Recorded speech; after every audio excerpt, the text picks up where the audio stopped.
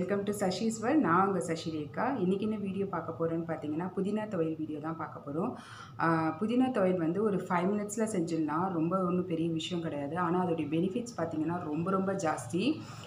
நம்ம ஆக்சுவலி புதினா சாப்பிட்றதுனால நம்ம ஸ்கின்ல இருக்கிற இது பிம்பிள்ஸ் எல்லாம் இருந்துச்சுனாக்கா அவ்வளோ நல்லா போயிடும்.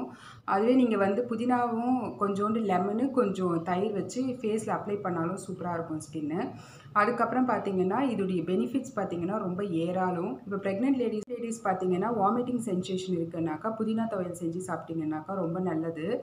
அந்த வாமிட்டிங் சென்சேஷன் வந்து கொஞ்சம் கம்மியாகும். கான்ஸ்டிபேஷன் இருக்கவங்களும் வந்து புதினா துவையல் சாப்பிட்லாம். அதுக்கப்புறம் பார்த்தீங்கன்னா இப்போ சம்மர் பயங்கர வெயிலாக இருக்குது அதுக்கு நீங்கள் பார்த்தீங்கன்னா ஒரு பாத்திரத்தில் தண்ணி பிடிச்சி வச்சுட்டு நல்ல தண்ணி பிடிச்சி வச்சுட்டு அதுக்கப்புறமா லெமன் ஒரு ஒரு லெமனும் அதுக்கப்புறமா ஒரு லெமனை கட் பண்ணி அதில் போட்டுட்டு அதுக்கப்புறமா பார்த்தீங்கன்னா புதினா இலையை வந்து ஒரு கால் புதினா இலை ஒரு பத்து இலைகளை வந்து பிச்சு நீங்கள் போட்டுட்டு நைட்டே ஊற வச்சுட்டு காலையில் எழுந்து சாப்பிட்டா நல்லது. டீடாக்சிஃபிகேஷன் ட்ரிங்க்ஸாக வந்து நீங்கள் குடிக்கலாம். ஒரு நாள் ஃபுல்லாக ஃபுல்லாகவும் நீங்கள் குடிக்கலாம். அவ்வளோ நல்லது உங்களுடைய ஸ்கின்னுக்கும் ஹெல்த்துக்கும். புதினாக்கு பார்த்தீங்கன்னா ரெண்டு பச்சை மிளகா அதுக்கப்புறம் மூணு காஞ்ச மிளகாய் எடுத்துக்கலாம். அதுக்கப்புறம் கொஞ்சோண்டு புளி சின்ன நெல்லிக்காய் இருக்கு இல்லைங்களா? அந்த அளவுக்கு புளி எடுத்துக்கணும். அதுக்கப்புறம் தேங்காய் வந்து ஒரு ரெண்டு ஸ்பூன் அளவு ஒரு ஒரு பத்தை அவ்வளோ எடுத்துக்கலாம். சீரகம் கொஞ்சம் அதுக்கப்புறமா பார்த்தீங்கன்னா கொஞ்சோண்டு உளுத்தம் பருப்பு கடலப்பருப்பு கொஞ்சம். ஆனால் நான் உளுத்தம் பருப்பு மட்டும்தான் போட்டிருக்கேன். கடலப்பருப்பு போடல. ஆனால் நீங்கள் போடுறதா இருந்தால் போட்டுக்கோங்க. டேஸ்ட்டாக தான் இருக்கும். அதுக்கப்புறம் வெங்காயம் கொஞ்சம் சின்ன வெங்காயம் ஆட் பண்ணிங்கன்னா இன்னும் டேஸ்ட்டாக இருக்கும். சின்ன வெங்காயம் ஆட் பண்ணிக்கோங்க. வாங்க அதை எப்படி செய்யலான்னு பார்க்கலாம். எண்ணெய் நல்லா காயட்டும். நல்லா காஞ்ச பிறகு சீரகமும் கொஞ்சோண்டு கொஞ்சோண்டு உளுந்து போட்டுக்கோங்க. அப்புறம் பார்த்தீங்கன்னா சீரகம் போட்டுக்கோங்க. அதுக்கப்புறம் காஞ்ச மிளகாய் போட்டுக்கோங்க. போட்டவுடனே கொஞ்சோண்டு வெங்காயம் போட்டுக்கோங்க.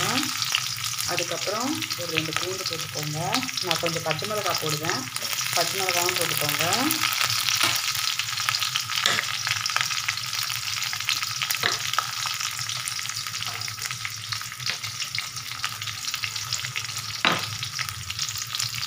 அப்புறம் தேங்காய் போட்டுக்கோங்க.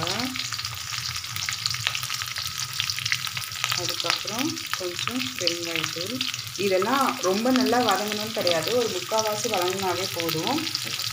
அப்புறம் புளி கொஞ்சம் போட்டுக்கோங்க.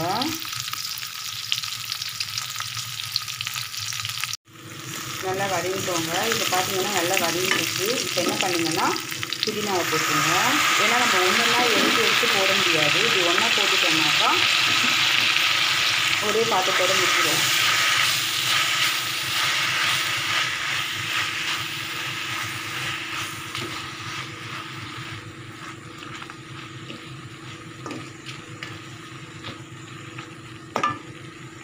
இது பார்த்தீங்கன்னா நல்லா இவ்வளோ நிறைய இருக்க மாதிரி இருக்குதுங்களா நல்லா சுருங்கி வரும். இது ஒரு கட்டு ஆக்சுவலி நல்லா சுருங்கி வரும். அது வரைக்கும் நம்ம வந்து கொஞ்சம் வதங்கணும்.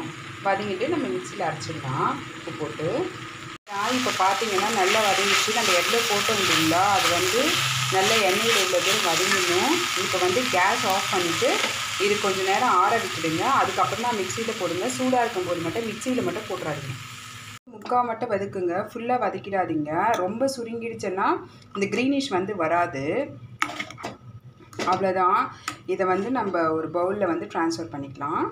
ஒரு சூப்பரான சுவையான புதினா சட்னி வந்து ரெடி இது வந்து தோசையோட இட்லியோட அப்புறம் வெறும் சாதத்தில் வந்து சுட சுட சாதத்தில் நெய் ஊட்டி பிணைஞ்சி சாப்பிட்டா சூப்பராக இருக்கும். அதுக்கப்புறமா தயிர் சாதத்துக்கு சூப்பராக இருக்கும். நீங்கள் ட்ரை பண்ணி பாருங்கள் பார்த்தீங்கன்னா எப்படி செஞ்சோன்னு பார்த்தீங்க இல்லைங்களா? ரொம்ப ரொம்ப ஈஸி ஃபைவ் மினிட்ஸில் செஞ்சிடலாம்.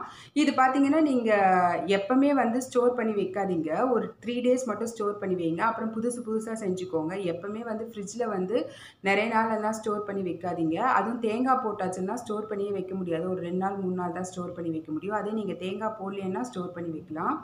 இந்த துவையல் வந்து ரொம்ப ரொம்ப டேஸ்ட்டாக இருக்கும். சில பேர் வெங்காயம்லாம் போட மாட்டாங்க. ஆனால் வெங்காயம் போட்டு தேங்காய் போட்டு உளுத்தம்பருப்பு போட்டு செஞ்சால் சூப்பராக இருக்கும். நீங்கள் டேஸ்ட் பண்ணி பாருங்கள் அந்த உளுத்தப்பருப்பு வறுத்த பிறகு அதுக்கப்புறமா தேங்காய்லாம் ஆட் பண்ணி பாருங்கள் இது ஒரே ஒரு இதுலேயே செஞ்சிடலாம். கடாயிலேயே செஞ்சிடலாம். ரெண்டு மூணு வந்து பாத்திரம் கூட நீங்கள் மாற்றணும்னு அவசியம் கிடையாது. தாளித்து சாப்பிட்றவங்க சாப்பிட்லாம். இல்லைனா அப்படியே சாப்பிட்றவங்களும் சாப்பிட்லாம். பிகாஸ் நிறைய ஆயில் வந்து நம்மளுடைய இன்டேக்கில் வந்து இருக்கக்கூடாது. அது ரொம்ப முக்கியம். இந்த வீடியோ பார்த்தீங்கன்னா உங்களுக்கு ரொம்ப ரொம்ப ஹெல்ப்ஃபுல்லாக இருந்திருக்கும்னு நினைக்கிறேன். ஷேர் பண்ணுங்கள் சப்ஸ்கிரைப் பண்ணுங்கள் பெல் ஐக்கான் ப்ரெஸ் பண்ண மறந்துடாதீங்க. Thank you so much